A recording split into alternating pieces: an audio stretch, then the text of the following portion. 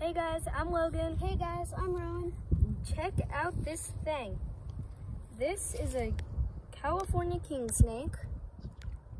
And feel please subscribe so, so we can make more videos on awesome creatures like this.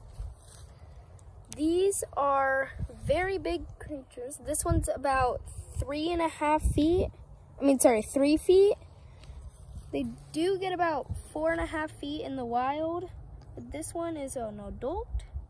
Their diet is mice, rats, insects, small birds, and snakes. Well, basically anything it could eat. Yeah, anything it can catch. Um, these are not dangerous to humans at all. We found it from flipping boards on a trail, if you want to call it a trail. Um,